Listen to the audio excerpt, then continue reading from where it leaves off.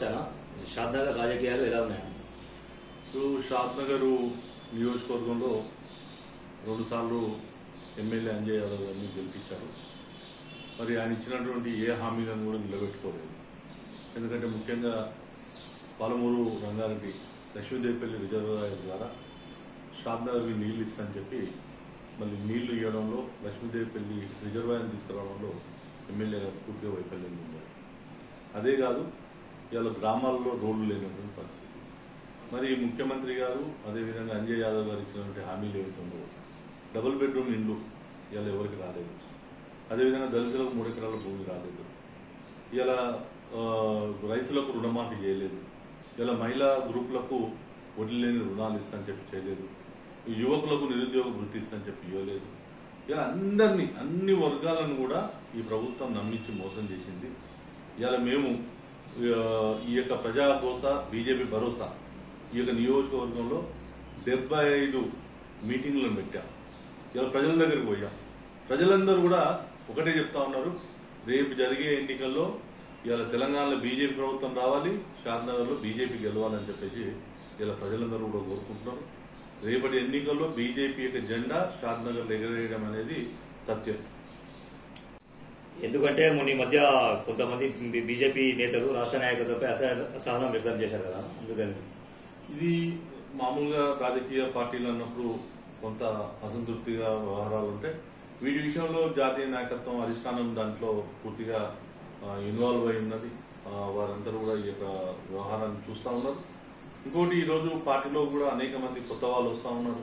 అనేక సంవత్సరాల నుంచి ఈ పార్టీ జెండాను మోస్తూ మరి ముప్పై సంవత్సరాల నుంచి నలభై సంవత్సరాలు ఉన్నటువంటి నాయకత్వం ఉంది కార్యకర్తలు ఉన్నారు.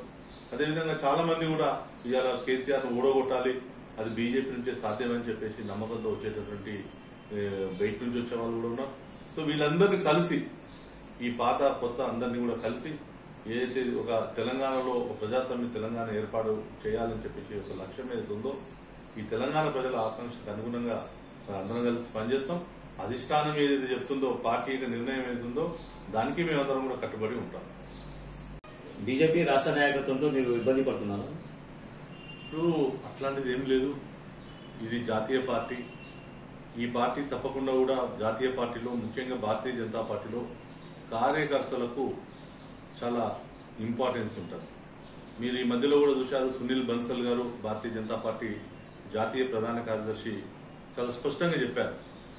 మాకు ఎవరో బయట నుంచి నాయకులు రావాల్సిన అవసరం లేదు. మా కార్యకర్తల్ని నాయకులుగా తయారు చేసి ఈ యొక్క ఎన్నికల్లో మేము గెలవబోతా ఉన్నామని చెప్పారు. ఏదైతే యూపీ ఎన్నికల్లో ఫార్ములా ఏదైతే ఉందో అదే ఫార్ములాని తెలంగాణలో ఇంప్లిమెంటేషన్ చేస్తున్నారు. ఈ యొక్క బన్సాల్ గారి యొక్క నేతృత్వంలో. నిజంగా నాలాంటి మంది ఈ రోజు రాష్ట్రంలో ఒక కార్యకర్త నుంచి నాయకునిగా మరి నాలుగు సార్లు పోటీ చేసి ఈ యొక్క పార్టీని ఈ జెండాను నిలబెడుతూ మరి ప్రజల మధ్యలో నిత్యం వారి యొక్క సిద్ధాంతాన్ని తీసుకోబోతున్నట్టు నాలాంటి అనేక మంది కార్యకర్తలకు ఇలా భారతీయ జనతా పార్టీ అండగా ఉంది. అందుకోసం మేము ఎవ్వరం కూడా మాకు కూడా నాయకత్వం చాలా క్లియర్గా చెప్పింది. తప్పకుండా కూడా ఈ పార్టీ మన పార్టీ బీజేపీ పార్టీ కార్యకర్తలకు మరి ఎక్కువ ఇంపార్టెన్స్ ఇచ్చేటటువంటి పార్టీ మిగతా పార్టీల కన్నా. అందుకోసం మేమందరం కూడా ఒక భరోసా ఉంది. ఇవాళ మా రాష్ట్ర అధ్యక్షుడు బండి సంజయ్ గారు కుమార్ గారి యొక్క నేతృత్వంలో పార్టీ ఇలా చాలా బలంగా ముందుకు పోతా ఉంది. ఇలా కార్యకర్తగా నుంచి ఆయన రాష్ట్ర అధ్యక్షుడయ్యారు అట్లనే మా యొక్క కేంద్ర మంత్రి కిషన్ రెడ్డి గారు ఇలా కేంద్ర కేబినెట్ మినిస్టర్గా ఉన్నారు. డాక్టర్ లక్ష్మణ్ గారు ఇలా పార్లమెంటు బోర్డులో మెంబర్గా ఉంటూ రాజ్యసభ సభ్యులుగా ఉన్నారు. మురళీధరరావు గారు మరొక కార్యకర్తగా ఈ రోజు జాతీయ స్థాయిలో ఉన్నారు. అందుకోసం మాకు ఈ నాయకత్వం అంతా కూడా మాకు భరోసాగానే ఉంది. హండ్రెడ్ పర్సెంట్ మీరు కార్యకర్తలు క్షేత్రస్థాయిలో కొట్లాడండి పోరాటం చేయండి. మీ యొక్క భవిష్యత్తును మరి చూసుకునే బాధ్యత మాదని చెప్పేసి చాలా స్పష్టంగా చెప్పారు కాబట్టి కార్యకర్తలుగా మా అందరికీ భరోసా అయితే ఉంది. షాద్నగర్ బీజేపీ నేతలలో కూడా విభేదాలు ఉన్నాయని చెప్పి నడుస్తుంది కదా. లో ఒక విషయం అండి. భారతీయ జనతా పార్టీలో షాద్నగర్లో కూడా ఏం విభేదాలు లేవు. నేను రెండు సార్లు పార్టీలో పోటీ చేశాను ఎమ్మెల్యేగా. రెండు సార్లు టీచర్ ఎమ్మెల్సీగా పోటీ చేశాను. నేను ఒక కార్యకర్తగా ఇక్కడ పనిచేస్తున్న క్రమంలో రాష్ట్ర పార్టీ రెండు వేల పద్నాలుగులో అలయన్స్ సీట్లో నాకు ఈ పార్లమెంట్లో రెండు సీట్లు తీసుకుంటే బీజేపీ ఒకటి షాద్నగర్ ఒకటి మహబూబ్నగర్ సో పార్టీకి శ్రీవర్ధన్ కార్యకర్త యొక్క శ్రీవర్ధన్ యొక్క నాయకత్వం సమర్థత అన్ని కూడా రాష్ట్ర పార్టీకి తెలుసు. ఇలా కొంతమంది పార్టీలోకి వచ్చారు వాళ్ళందరూ కూడా నేనే ఆహ్వానిస్తా ఉన్నాను పార్టీ ఆహ్వానిస్తా ఉంది. మేమందరం కలిసి పనిచేస్తా ఉన్నాం. మాకు ఇంకా చాలా మంది వచ్చేవాళ్ళు ఉన్నారు పార్టీలోకి. ఇంకా షాద్నగర్లో ఇంకా చే- ఈ సెకండ్ నాయకత్వం చాలా మంది ఈ ఇప్పుడు ఉన్నటువంటి ఎమ్మెల్యే యొక్క నిరంకుశత్వం కావచ్చు బీఆర్ఎస్ పార్టీ మీద వాళ్ళకు ఉన్నటువంటి అసంతృప్తి కావచ్చు అదేవిధంగా కాంగ్రెస్ పార్టీ యొక్క అసమర్థత వల్ల ఏది జరుగుతూ ఉందో ఇంకా చాలా మంది కూడా పార్టీలోకి వస్తా అనుకుంటున్నారు సో వీళ్ళందరినీ కలుసుకొని పోయేటటువంటి పని నేను చేస్తా ఉన్నాను. ఇక్కడ రెండు సార్లు ఎమ్మెల్యేగా పోటీ చేసిన అభ్యర్థిగా నేనే అందరితో స్వాగతిస్తా ఉన్నాను.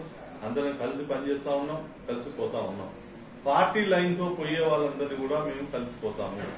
పార్టీ లైన్తో పోని వాళ్ళ విషయంలో అది రాష్ట్ర పార్టీ చూసుకుంటది అది అధిష్టానం చూసుకుంటది కాబట్టి దాని విషయంలో మేము ఎక్కడ కూడా ఆందోళన చెందుతలేము. ఎక్కడ కూడా మేము మా యొక్క క్యాడర్ కూడా చాలా స్పష్టంగా చెప్తా ఉన్నాం. కార్యకర్తలు కూడా చాలా స్పష్టంగా చెప్తున్నాం ఒకటే చెప్తా ఉన్నాం మనం కలిసి పనిచేద్దాం టికెట్ అనేది అధిష్టానం చూసుకుంటది. అది కార్యకర్తకు వస్తుందా ఎవరికి వస్తుందా అనేది పైన చూసుకుంటది. మనం నేనే రెండు సార్లు పోటీ చేసిన వ్యక్తిని నేనే చెప్తా ఉన్నాను. మనం కలిసిపోయి పనిచేద్దామని చెప్తా ఉన్నాం. సో నాకు ఏ విధంగా అయితే పార్టీ ఆ రోజు ఒక టికెట్ ఇచ్చి నన్ను నిలబెట్టింది రెండు సార్లు రేపు శ్రీవర్ధన్ అవసరం ఉంటే హండ్రెడ్ పర్సెంట్ శ్రీవర్ధన్ తోటి నిలబెడుతుంది. లేదు ఇంకా కాదు అనుకుంటే పార్టీలో ఉన్నటువంటి ఒక కార్యకర్తని భవిష్యత్తులో కూడా వాళ్ళనే పార్టీ నిర్ణయిస్తారు కాబట్టి మేము దానికి ఎలాంటిది లేదు. మేమందరం కూడా కలిసి ఉన్నాయి సరే కొన్ని విషయాలు ఉన్నప్పుడు పార్టీ గ్రో అవుతున్నప్పుడు మా సిద్ధాంతంతో కొత్తగా వచ్చిన వాళ్ళకు పార్టీ యొక్క సిద్ధాంతం ఐడియాలజీ తెలియక కొంత ఘర్షణ కొద్దిగా ఇబ్బంది పడవచ్చు. వాళ్ళకు కూడా మేము చెప్తా ఉన్నాం పార్టీ లైన్ ఏ విధంగా ఉంటుంది పార్టీ యొక్క సిద్ధాంతం ఎట్లుంటది అనే విషయాన్ని మేము చెప్తా ఉన్నాం. సో తెలిసి పార్టీలో కలిసిపోతే ఇలా అనేక మంది భారతీయ జనతా పార్టీలో జాతీయ స్థాయికి వెళ్ళిపోయినటువంటి పరిస్థితి మనం చూస్తా ఉన్నాం. ఒకవేళ పార్టీ లైన్ కాదు మా సొంత లైన్ అనుకున్నప్పుడు మరి ఎంతో మంది వచ్చిన పోయినటువంటి చరిత్ర కూడా మనం చూసాం అందుకోసం పార్టీకి అందరినీ ఆహ్వానిస్తాం. ఈ ఆహ్వానంలో మోడీ గారి యొక్క ఆలోచన బీజేపీ యొక్క సిద్ధాంతం. అసలు ఏమంటున్నారు అంటే బీజేపీ టీఆర్ఎస్ కలిసి డ్రామాలు ఆడుతున్నాయని చెప్పి అంటున్నారు? ఒక విషయము అందరు కూడా తెలుసు. ఇలా ఢిల్లీ పోతే కేసీఆర్ కవిత ఎవరిని కలుస్తున్నారు? ఇలా కాంగ్రెస్ వాళ్ళని కలుస్తా ఉన్నారు నరేంద్ర మోడీ గారు హఠావో అని చెప్పేసి పిలిపించి ఇలా పార్లమెంటులో బహిష్కరణ చేసి ఎవరు కలిసి తిరుగుతూ ఉన్నారు? కాంగ్రెస్ ఈ యొక్క బీఆర్ఎస్ పార్టీ కాదు? ఇలా వాళ్ళు గతంలో కలిసి పోటీ చేశారు. మాకు ఈ రోజు వరకు కూడా టీఆర్ఎస్ పార్టీ ఏర్పడ్డప్పటి నుంచి ఇప్పటి వరకు కూడా మేము టీఆర్ఎస్ పార్టీ బీఆర్ఎస్ పార్టీ కలిసి ఎప్పుడు పోటీ చేయలేదు.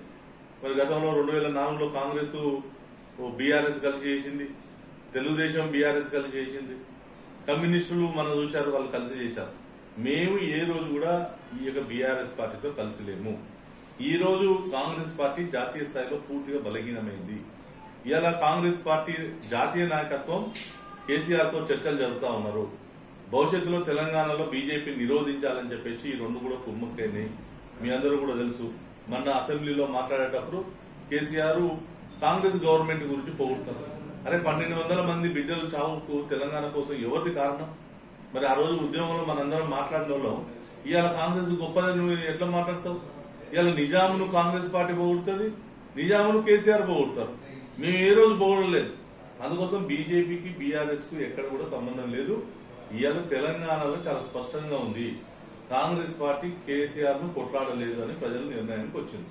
ఇవాళ బీజేపీ వైపు చూస్తున్నారు అందరు. మీరు కూడా చూశారు హుజరాబాద్ ఎన్నికలు కావచ్చు హైదరాబాద్ ఎన్నికల్లో మనం చూసినాం. ఇవాళ కూడా అందరు కూడా ఒకటే విశ్వాసం ఉంది. ఇవాళ ప్రభుత్వ ఉద్యోగులు కానీ నిరుద్యోగులు కానీ రైతులు కానీ మహిళలు కానీ అందరూ కూడా ఒకటే ఈ యొక్క నిరంకుశత్వ ప్రభుత్వాన్ని గద్దెదించాలి. మళ్ళా కాంగ్రెస్ రెండు కూడా ఒకటే. మీకు తెలుసు ఆడ కుటుంబ రాజకీయాలు కాంగ్రెస్ పార్టీ చేస్తుంది బీఆర్ఎస్ కుటుంబ రాజకీయాలు చేస్తుంది.